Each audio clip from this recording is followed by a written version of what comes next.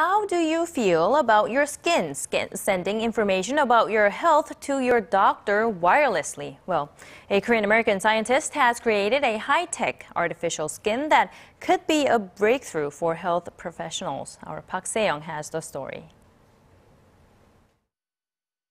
You can clench your fist and it stretches with you. You can pull and twist it, it won't rip. Plus, this artificial skin can also monitor your health. It was developed by Korean American researcher Jang Kyung-in, who worked with a team from the University of Illinois at Urbana-Champaign.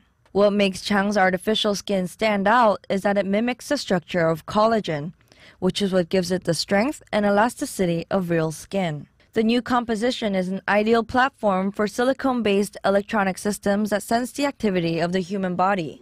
Patients will be able to send their health information to their doctors by simply sticking the artificial skin onto their real skin, just like a band aid.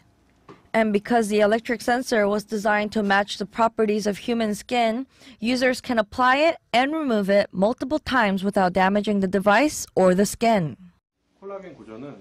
The structure of collagen is like a knotted thread. It can easily extend in the beginning, as if the threads are unraveling. When collagen reaches full extension, it no longer stretches and maintains its shape, just like untangled thread.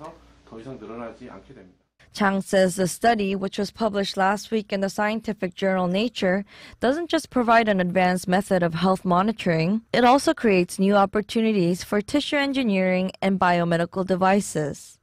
Park Se-young, Arirang News.